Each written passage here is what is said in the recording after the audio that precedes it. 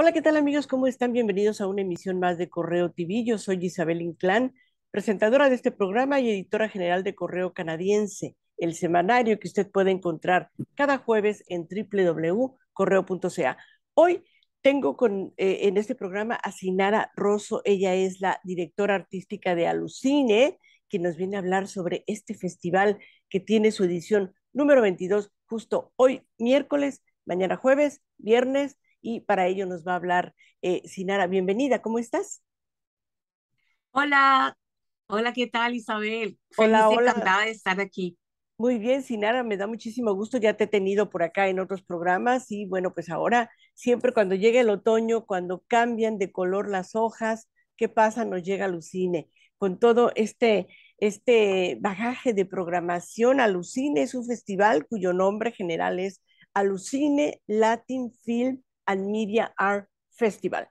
Eh, y bueno, pues esto se está desarrollando del 28 al 30 de septiembre en el Espadina Theater, que está en el 24 de Espadina Road.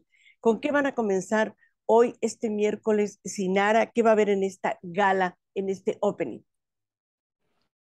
Bueno, primero que todo, gracias por estar aquí. Feliz de estar siempre conversando contigo acerca de nuestras actividades culturales. Hoy es la gala de apertura hoy eh, miércoles 28 de septiembre en el Spadina Theatre. Eso queda en el 24 Spadina Road a las 7 de la noche. Eh, Seven Ridges es un film creado por un colombo mexicano, él es un antropólogo, y es un film supremamente especial porque trata sobre eh, como la celebración que realizan los indígenas eh, cuando una de las niñas se convierte en señorita. Entonces, entonces son todas las preparaciones, los rituales que ellos realizan y es una mirada muy íntima a la vida de ella, a lo que siente y a lo que está pasando en ese momento tan importante de su vida, que es para ella y para las mujeres alrededor de la aldea. Em, es el primer film que se hace en esta lengua indígena y bueno, va a ser maravilloso. Después de la, de, la proyección de la película, vamos a tener un saludo especial que nos mandó el director. Y de allí nos vamos a celebrar eh, pues la apertura del festival con una recepción. Las personas que tengan tiquete para la película pueden entrar a la recepción. Ok, muy bien. Bueno, eso será el opening este miércoles. ¿Qué es lo que nos tiene preparado Alucine para mañana jueves? Eh, dentro de esta programación de eh, Alucine es un festival que yo quiero mucho además porque los temas que trata tienen mucho que ver con la realidad latinoamericana, no solo de los latinos aquí en Toronto, Canadá, donde nos encontramos como inmigrantes, sino también en Latinoamérica. ¿Qué nos puedes decir de la programación del segundo día? Sí, para el segundo día hay un programa muy especial. Es un tributo que se le va a hacer a Jorge Lozano.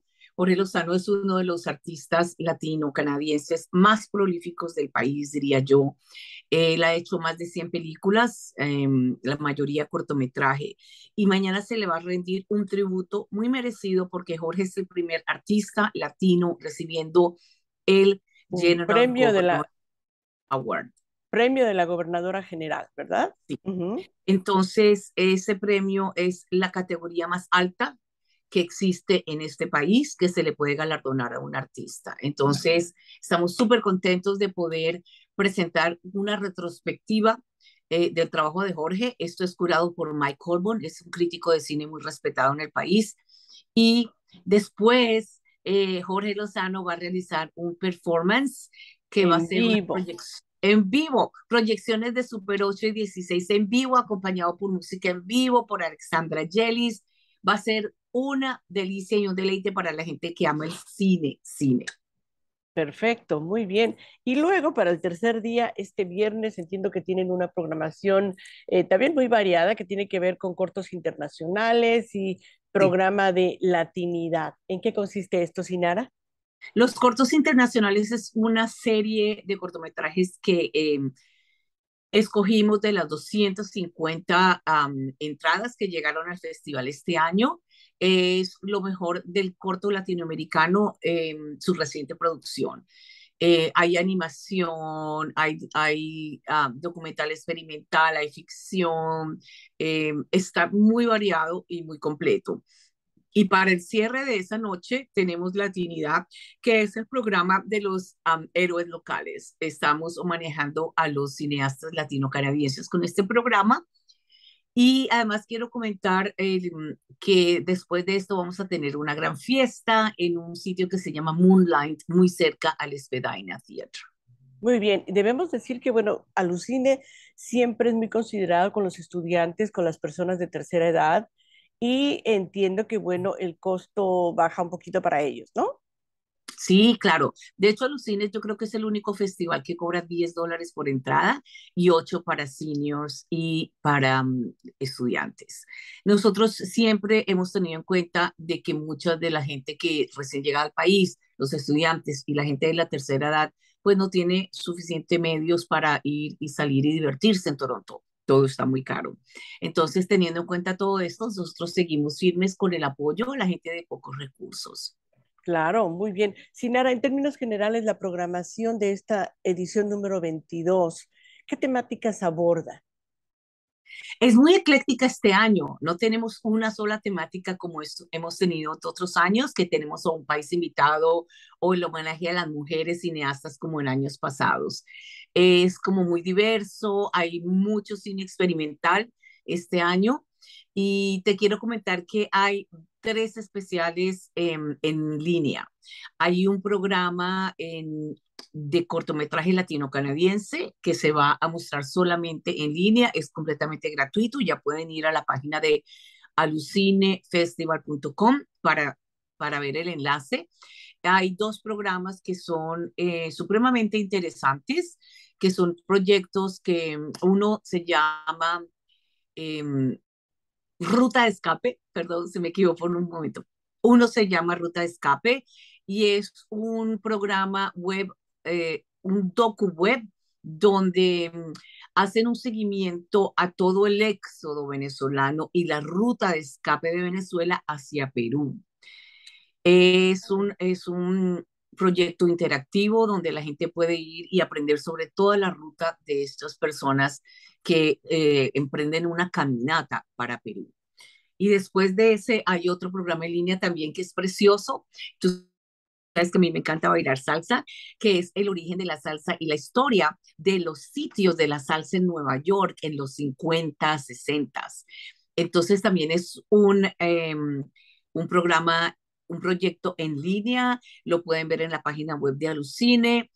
Es súper fantástico porque tú puedes ir a los sitios donde toda esta gente, los afrolatinos, los afroamericanos, eh, los caribeños se iban a reunir los fines de semana a bailar y se llama Where We Were Safe. Son los lugares que ellos consideraban donde estaban a salvo y podían ir y bailar y desarrollar su música y divertirse. Y de allí, en esos sitios que pueden ver en alucinefestival.com, nace la salsa. Entonces es súper lindo, hay cosas que uno no sabía, eh, tiene video, tiene interactividad. Sí, súper. interesante, interesantísimo. Alucine, entonces se desarrolla miércoles, jueves y viernes, estamos hablando de los últimos días de septiembre. Hay, sobre todo la parte de online, ¿hay posibilidad de que el público pueda acceder después de estos días, Sinara? Sí, eh, los films de Jorge Lozano van a estar en línea porque queremos que ese tribute viaje a internacionalmente. Ese programa es muy interesante. ¿El acceso seguirá a través de la página web de ustedes? Durante un mes, sí. Perfecto. Para todo el programa en línea. Y te quiero comentar lo último, em, Isabel.